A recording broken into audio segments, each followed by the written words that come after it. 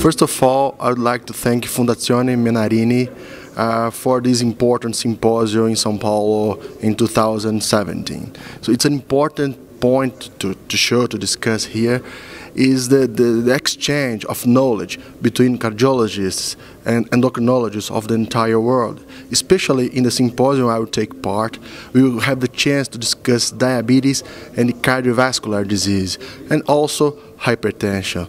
So first of all, I hope everybody enjoys this symposium and uh, take and share all this knowledge in the countries these people live. Thank you so much.